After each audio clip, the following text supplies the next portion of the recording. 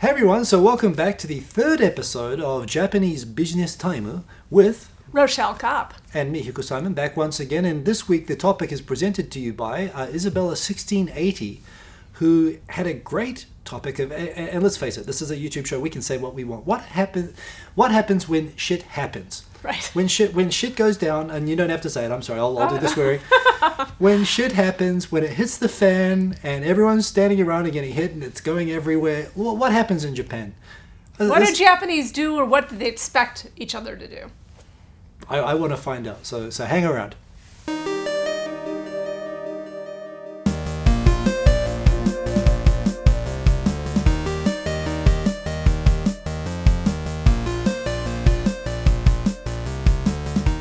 Okay, so this is uh, it's a fantastic topic because this is one of the quintessential areas where, particularly if you take the Western, I'd say I say Western, but American approach to, to crisis management, to a disaster sort of happening, and Japan. I mean, they're very different. The whole approaches, reactions, everything, and they're almost, I think, probably mutually incomprehensible. So I could imagine this is kind of fascinating. So the question, I guess, is in Japan. What happens in Japan when Right. shit happens? So Okay. Well, Japanese do this thing called hansei. Hansei. My And- wife says I, I never do that enough. Yes, exactly. I, I, I, I'm guessing that a lot of Japanese spouses with non-Japanese spouses say that, right? Yes. It is the thing that drives Japanese most crazy about people from other countries. Uh, And lack of Hansei. lack of Hansei. and when I'm doing seminars, uh, you know, at the beginning of every seminar, I always do some sort of discussion exercise to kind of figure out where the Yeah. uh, participants are at, what's on their minds, Yeah. and you know, when I'm asking Japanese, what's most challenging for you about working with Americans, for example, Yeah.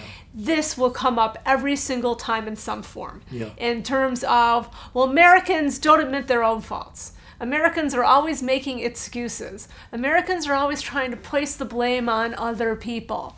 Americans are always trying to explain away their problems. They don't say, I'm sorry. And this is all about not doing this Hansei thing. Yeah. So so Hansei, for for those who don't know the term, I understand the term as being self-reflection. Right. Uh, well, what's the, what's the definition you It's use? yeah, that's that's it's, there's not a really perfect word in English, but it's looking back on what you've done Yeah.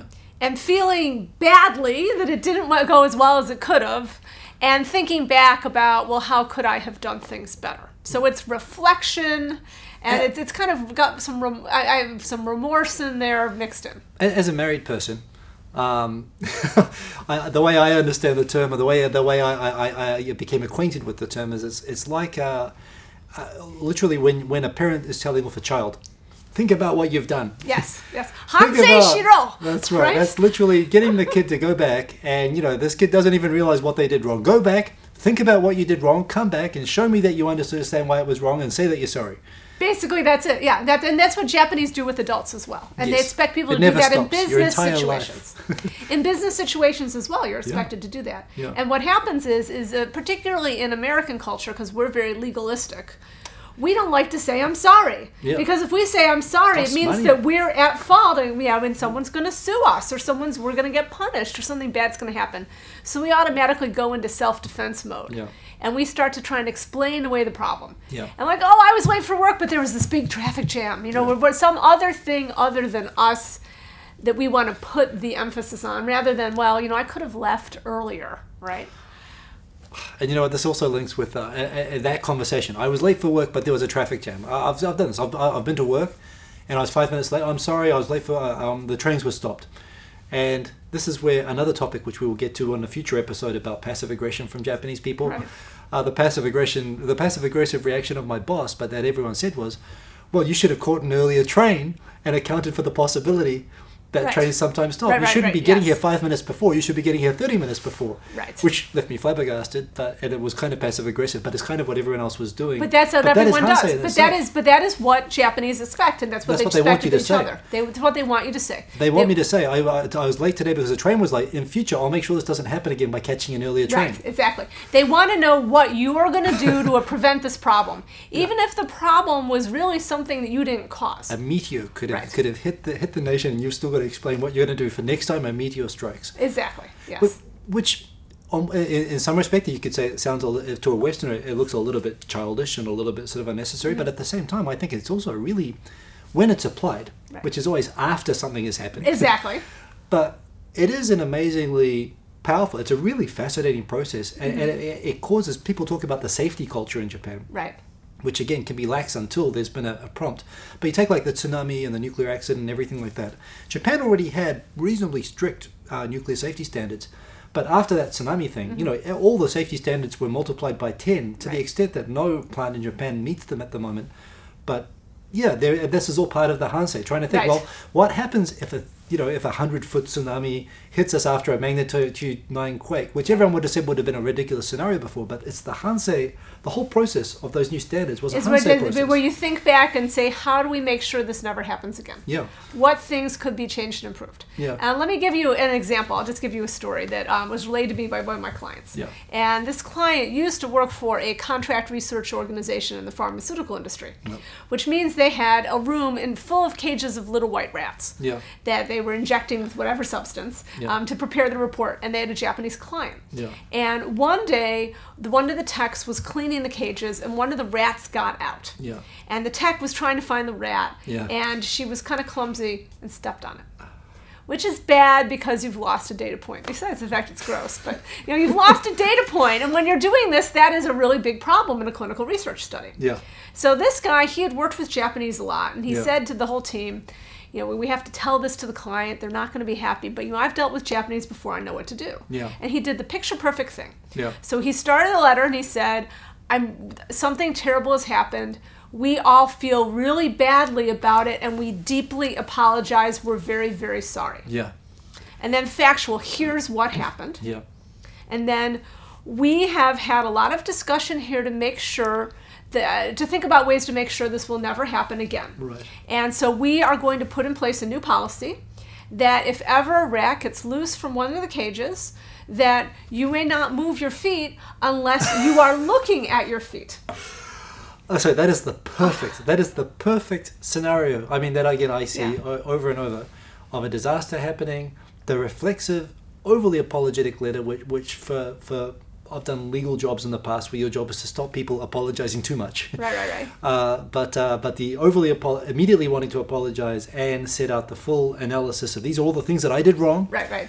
that I'm very sorry for, and this is how we're going to make sure it never happens again. That is the perfect business letter. There, are it was templates. perfect. And, and the thing, and this was a situation where the customer, like for example, if it was an American customer, would Yeah. have just gone ballistic. Yeah. I mean, it's really bad. Yeah. But when they sent this letter, the Japanese customer accepted it very calmly.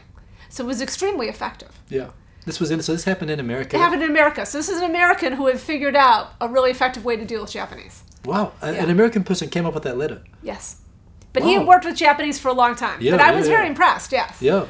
But Well, it's that's perfect. That's yeah, a model It is letter. perfect. It's a model letter. That's why I'm saying I mean, that's an when I say it's example. perfect. My job is to stop people sending letters like that, but but yeah, yes. but it's perfect with, but it did what it needed to do culturally for the Japanese, Yeah. and he averted a situation where the Japanese could have just gone crazy and, and been really, really upset. you know, there's a there's a. I, I, I don't like this movie. It's a terrible movie, uh, Rising Sun. Oh yeah, It's a terrible movie. It is It's terrible. terrible, and don't watch it. But there is one line in it where Sean Connery talks with uh, uh, where's Leslie Wesley Snipes. and he talks about this actually. What happens when really? stuff happens? And he says, um, since since since, I, since we're talking about shit happening, I'm, I'm going to quote the line uh, exactly as it was said. Whenever some, whenever something, whenever shit happens in America, everyone's looking for who fucked up, who fucked up. You know, in Japan, they don't they don't waste their time looking for who fucked up. They just figure out what happened and they fix it.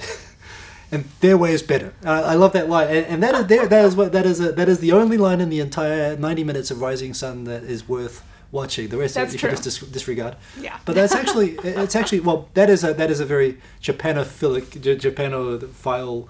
So, you know, summary Wait, of that concept, but that is kind of it. Yeah. Uh, When you have a legalistic culture, you're so afraid of being blamed, or you're so you're so jumping to put the blame on someone else, or figure Right. out where the blame is.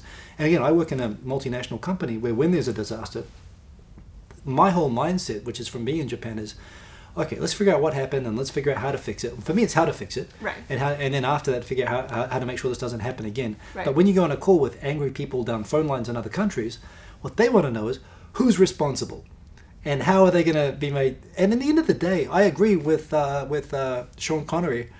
Um, in the end of the day, after all is said and done, you know, Bozo, sure, you know, do whatever, punish them, Right. whatever. But that's not the first thing that you do. The first thing you do is you fix it. You fix it. When you also you you acknowledge that the person Yeah. had an unpleasant experience. Yeah. And you try and make them feel that's better. right. But so many times in the United States we skip that because again people are afraid of getting sued. Yeah. And, or they're afraid of getting fired. Yeah. And so people immediately go into this mode where they are explaining things away. Yeah. And you know maybe it's because some of my thinking has become very Japanese, but I find myself in situations in the U.S. where it starts to drive me crazy too. Yeah, yeah. Yeah.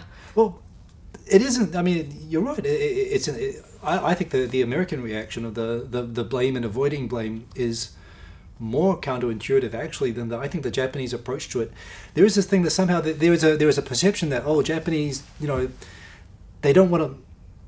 So with everything, you take uh, for example the Minamata case, or famous sort of uh, environmental disasters, and everyone Right. talks about how the government protected Chisso, the company that Right. did that and and this is like the quintessential the Japanese government being cozy, people covering it up, friends like Toshiba, like there's Yeah, a yeah, problem, everyone tries to cooperate to fix it, and this is just an old boys club and trying to avoid you know it's trying to um, shield people from responsibility and be unaccountable. We have a big we, we put a lot of uh, stock in the West on accountability. Right.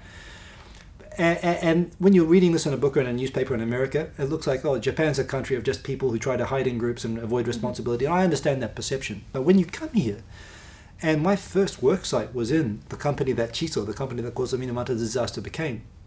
And they had they, they had like a, a, a, a, a, work employer list of something like 40% disabled people from Minamata town, Oh, people wow. who wouldn't be able to get jobs anyway. Right. Right. Yeah. And so, and you sort of, as I worked there, I started to realize, okay, the government shielded them from a massive lawsuit that would have crushed their company, but in exchange for their company surviving, they kind of had to employ and provide uh, medical insurance for and look after and take responsibility for the town. And that doesn't get in the papers, but it's a fundamentally different approach. Rather than trying to figure out, there's a person who's responsible, hang him, Right. um, there actually there there is buried in granted there was some avoidance of responsibility and some shielding but there is also this whole thing about um, you know figuring out well this is a terrible problem what are the steps we need to take to fix it Right. which And- isn't to say that, I mean there were still terrible things with Minamata the government Right, actually right. blocked people from suing and then getting compensated there was terrible things with that Yeah. but but it's just the whole approach is different it's not they don't go on a witch hunt they go onto Right. a fix it Right, and And what and what I think happens in Japan then is because people know you know they have for the most part job security, and they know that no one's going to come on a witch witch hunt. It makes people better able to be forthright about problems. Hmm. You know, I've I've heard this similar story a lot of times um, from a lot of cl- Japanese clients in the U.S. where in the factory. Let's say that something gets messed up. Yeah. Something gets done wrong, and like, for example, a, a, die in a factory, really expensive piece of equipment gets damaged yeah and the Japanese, um, you know, plant managers like go, you know, wa- wants to know, well, well, who caused this? What happened? yeah And no one will say who did it Yeah. because the Americans are all thinking, well, we don't want our buddy to get fired. Yeah. And the Japanese are like, we're not going to fire you. We just want to figure out how we can like not mess up other pieces of equipment. Well, yes and right? no. Uh, that's that's maybe true to a point, but there is definitely, again, having having dealt as a troubleshooter on, on issues like this, there.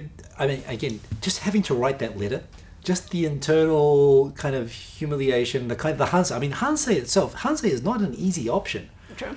Hansei is a painful, painful thing to go through, and the way that you know you'll be put in kind of dragged out before everybody, and it is a form of punishment in a way. Um, and sometimes people, okay, so the, the scenario that I know is where a young guy screwed up, did something bad, everyone likes him, everyone kind of wants to shield him, so they'll come to me and say, okay, this guy did this, but you know we don't want him to take the whole blame, so look, let's just um, fix it this way, and let's put these steps in. But can you help us manage this in a way that he doesn't you know, get dragged through this? And when it kind of came out, and this guy, this guy was being forced to write the apology letter himself. This junior guy was Uh-huh. being forced by a senior guy to write it. I was kind of like, well, this this is kind of messed up. But uh, you know, the, the Mitsubishi Motors case, the, the the accident reports that were being kept in the locker whenever the inspectors came and stuff like that. There is this thing about sometimes if they think they can get away with it, and this isn't just Japan, of course. Right.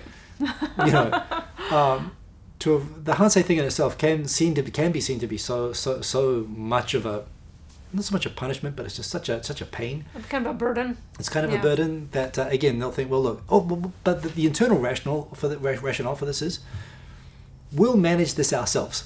We don't need to cause trouble. You know, I don't. We don't need to make trouble for ourselves or cause trouble for other people when we can just manage it. The problem is, is that when you don't have that accountability and when people try to manage it themselves, often in my experience, things end up getting worse. And That's you end up finding out when you're That's doing the, the analysis, that the Hansei, a lot of Hansei involves, okay, here is about one quarter of the way through this disaster when you should have raised your hand. Right. and here is the, the, the, the three quarter stage where, you know, something blew up. And here is the final stage where finally now we're talking about it and we're trying to fix right, it. it's way too late, right? Yeah. And it, it, it is true that things go a little bit too late because people do want to avoid. So there is some accountability there, I guess, in that sense. But the accountability is the need to come through and account for yourself. Mhm. So it's interesting. I mean, it's just a, such a different mindset. It used to look like a complete just absconding from responsibility, and there are plenty of cases. The Nissan, Mhm. uh, or sorry, the the the um, uh, Olympus, the Olympus case, all, all these big, huge corporate Right, scandals right, exactly. seem to reinforce this idea of you know just reckless ab- abandonment of responsibility. And obviously, those guys need some Hansei, but uh, yeah, so that's the thing. It, it, it's the, it's it's a really nice process, but it isn't always being applied, right? which is true. Which is exactly the same as the U.S. process of suing people and holding people Right, responsible. right. Exactly. well. That doesn't always work either, right? So But when it works, I, I, I, I myself, I, I think that the, the Japanese approach, I think there's a lot of merit to it as well. So yeah, we're, we're, but but this is the whole thing. When shit happens, when shit goes down, the Americans I know, the New Zealanders, the Australians are like, who who screwed it up, and the Japanese are, how did this happen, and how do we stop it happening again? right. And also, and also, ha- we have, I want to say we're sorry. Yeah, Very important They immediately want to say they're sorry, Yeah. and I have to stop them doing that. But yes, well, But my the right recommendation would be is if you're in a situation and things have been messed up mm. and a Japanese person is your client or Yeah. someone you're working with, You do have to say probably want to say sorry Well, because because they because until they hear sorry, they're not going to even know. listen to anything else. Yeah, check, check your legal liability first, uh, Yeah, and, and, okay. and then say sorry on the floor. Just to go, go all out. But All yes, right, right. Uh, but yeah, well, you do have to say sorry, even even around that. You just have to be careful how you phrase it. You Right, can't you can't give a complete admission. You can't hand them Right, right. So there's something to sue you to sue you. Exactly. In any Which, which they, yeah. they didn't used to do in Japan. This is another thing. They did. Japanese companies didn't used to sue each other. That's true. Now they do. Mm, and so now you have to be a little bit more savvy, Yeah, exactly. But you still have to apologize. Right. Yeah. So that's a fine line of how you do that, but I guess that's something that keeps you busy, right? It does. It's a never-ending, never-ending source of uh, fun and games. Man, forget the time limits. These are interesting topics, and I really uh, that, that so that was uh, Isabella 16, oh, 1680. Yeah. hmm Uh, that was a great Thank topic. you, Isabella. Thank you for that. Uh, uh, and thank you for letting me swear with Rochelle in an unawkward way. That, that was just a highlight for me as well. So we're going to be back next week for more of these awesome topics, which you decided for us. Uh, so hang around for more Okay. Japan business time. Great. Thank you.